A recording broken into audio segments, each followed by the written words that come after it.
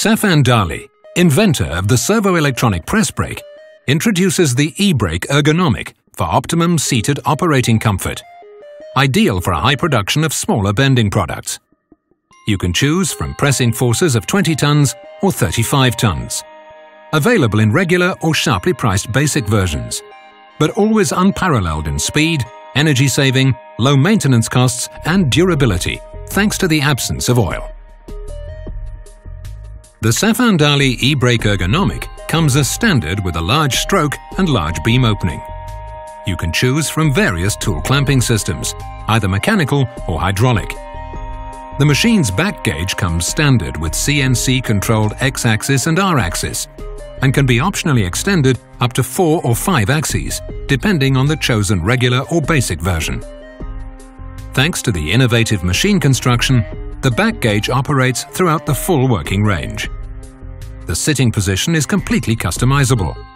The feed table is adjustable in three parts and can be folded down or completely removed, allowing you to also bend larger products while standing. Also, the integrated safety light screen is unique in its operation and offers four setting options, allowing any type of product to be bent quickly and safely. The e-brake ergonomic comes as standard with a SafanDarley e-control. The B version comes as standard with the numerical EC10 control and optionally you can choose the 2D graphical EC20 control. The regular version comes standard with the EC20 control, optionally extendable with the 3D graphical EC30 control.